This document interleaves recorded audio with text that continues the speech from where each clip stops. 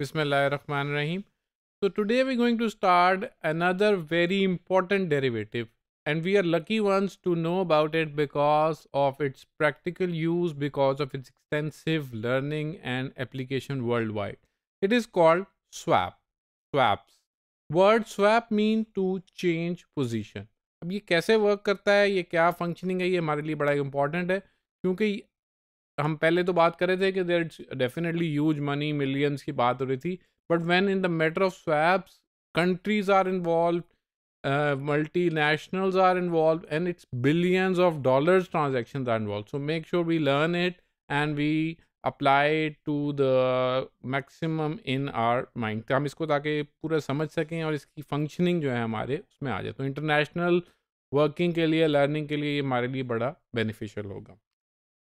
Swaps are typically derivatives in which two parties exchange, that is, swap cash flows or other financial instruments over multiple period. इसकी beauty ये है कि इसका जो span है horizon है वो भी बहुत ज़्यादा है। बाकी डेरिवेटिव्स को तीन महीने का था कोई छः महीने कोई साल तक के भी थे।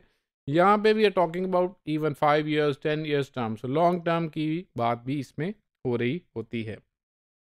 और mutual benefit so when we are entering it it should be benefit for me and benefit for you और बाकी जाके, और main aim is to manage the risk so we should learn it in a core way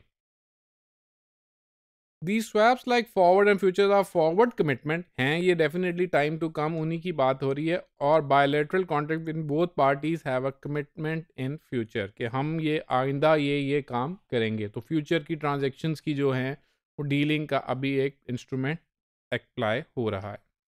Similar to forward and future contract net initial value to each party should be zero initially value किसी के लिए एक favour में नहीं होनी चाहिए। जब जब डील स्ट्राइक होगी, तब it should be a balance बाद में जो मूवमेंट होगी तो one party gain one party loss that could be the case और even the parties different gains and loss are there but initially it should be zero तो swap के case में भी initially it should be similar value for both An interest rate swap, most commonly type, allows companies to swap interest rates obligation usually fixed rate for a floating rate. For example, आपने fixed rate पे loan लिया हुआ है और आपको लग रहा है कि जी इंटरेस्ट रेट्स ने तो गिर जाना है तो फिर आपको यू विल फील लाइक कि मैंने फिक्स में देता रहूँगा इंटरेस्ट रेट गिर जाएँगे तो मुझे तो लॉस हो जाएगा तो you are interested in that कि मेरा लोन फ्लोटिंग में कन्वर्ट हो जाए। तो लेकिन ये इतना आसान नहीं होता कि आपने लोन लिया हुआ आप पहले वाला लोन वापस करें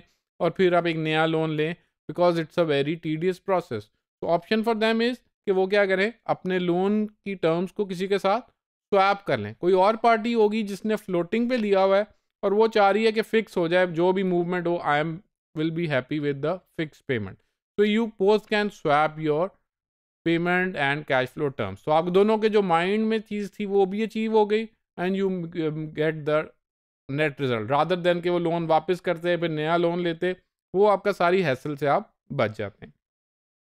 A currency swaps enable borrower to exchange debt service nominated in one currency and payments in another तो आपने किसी एक करेंसी में बोरो किया है, या आप कर सकते हैं और आपको लोन चाहिए दूसरी करेंसी में So, you can take loan in one currency and then swap your structure with an other party. इसकी एग्ज़ाम्पल हम थोड़ी डिटेल से भी बात करेंगे we will get a clear picture out of it by swapping cash flow future obligation the two parties can manage currency risk तो इससे currency risk जो है वो मैनेज हो जाएगा स्ट्रक्चर उसका हो जाएगा example is company C a US company wants to do business in Europe अब कंपनी यूएस में है और बिज़नेस करना है उन्होंने यूरोप में अब यूरोप में रह के वो अब जाग जाएँगी जब वहाँ पे तो उनको लोन लेना मुश्किल होगा।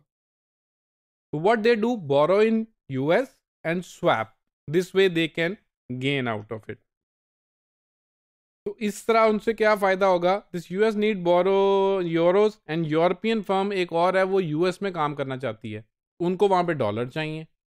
तो दोनों अपनी होम ग्राउंड में अच्छे रेट ले सकती हैं लोन भी ले सकती हैं। तो वो लोन ले लें and then they swap the structure. और जो इसका स्ट्रक्चर यही होगा, ये नहीं होगा कि अब एक डॉलर का एक यूरो होगा, जो करेंसी रेट्स चल रहे होंगे, उसके मुताबिक होगा। फॉर एग्जांपल रेट है यूरो का 1.25 पर यूरो तो उसी प्रोपोर्शन में ही ट्रांजैक्शन होगी।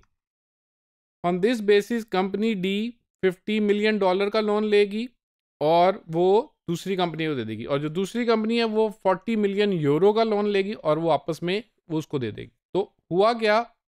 लिए उन्होंने अपनी डोमेस्टिक करेंसी में फिर स्वैप कर लिए।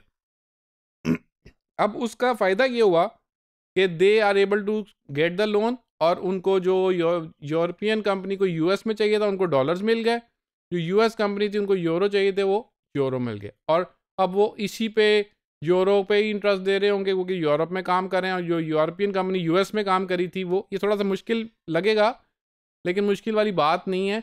इसकी एग्जांपल आप ज़्यादा अच्छी समझ लें कि एक पाकिस्तानी कंपनी ने जाके चाइना में काम करना है तो वहाँ जाके तो उनको लोन नहीं मिलेगा। तो वो क्या करें, यहाँ से लोन ले लें और एक और चाइनीज़ कंपनी जो चाइना से लोन इजीली ले सकती थी, उसके साथ अपनी टर्म्स स्वैप कर लें। तो इस तरह दोनों का काम ईजी हो जाएगा।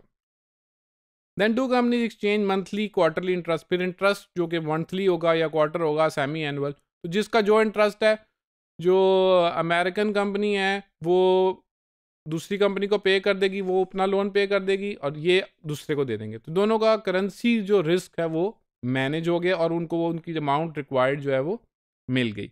और एंड में क्या होगा? फॉर एग्ज़ाम्पल ये पाँच साल का लोन था तो पाँच साल बाद वो वही दोबारा अपना प्रिंसिपल वो पचास मिलियन डॉलर उनको दे देगा, वो चालीस मिलियन यूरो उनको वापस करेगा अब तब इंटरेस्टेड जो भी हो, लेकिन ट्रांजैक्शन पूरी पूरे प्रिंसिपल की होगी। ये बात याद रखने वाली है जब करेंसी का स्वैप होगा तो प्रिंसिपल एक्सचेंज होंगे, अदरवाइज़ प्रिंसिपल्स एक्सचेंज नहीं होते। तो यूज़ ऑफ़ स्वैप इसका बहुत ज़्यादा बढ़ चुका है क्योंकि ये हमारे मल्टीपल रिस्क को सेव कर रहा है, इंटरेस्ट रेट रिस्क को भी सेव कर देता है हमारे, करेंसी रिस्क को भी और डिफ़ॉल्ट रिस्क को भी। इसमें हम और बात करेंगे स्वैप्स हमारा एक इंपॉर्टेंट एरिया है। Thank you.